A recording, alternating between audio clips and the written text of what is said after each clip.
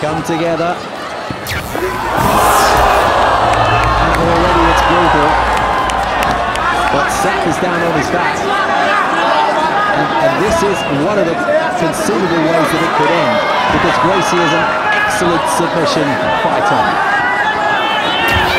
This fight is brought to you by Jacko. And it may not be a long one, Jason.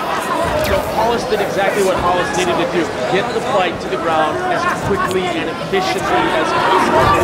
I'm actually kind of surprised that Bob Sapp was able to work a little bit of guard and survive an ankle lock attempt. So this, this could be a little longer fight than we anticipated. Well, he's tried his hand at a number of different fighting styles, Bob Sapp. This is his uh, latest modus operandi. Used to be an American footballer with the Minnesota Vikings. Bob Sapp has done everything. He's a movie star. He's a product endorser. You know, former K1 kickboxer and MMA fighter. Bob takes a lot of flack. People think that uh, you know he's not really an MMA fighter, and he wants to prove that this is Bob Sapp 2.0. Oh, that big punch that Gracie just landed. He tried for a second. The first one really got through. And the last couple have as well. And Bob Sapp could be in trouble. And it is over. Take another look.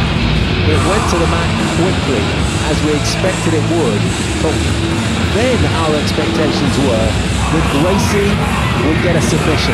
But it's these blows that you're seeing with the right hand that did the damage. And you can see the pain on Bob's face there. He took one at the top of the head, on the back of the head, which is often dangerous. And your senses. we said it would be quick, folks. and it certainly was.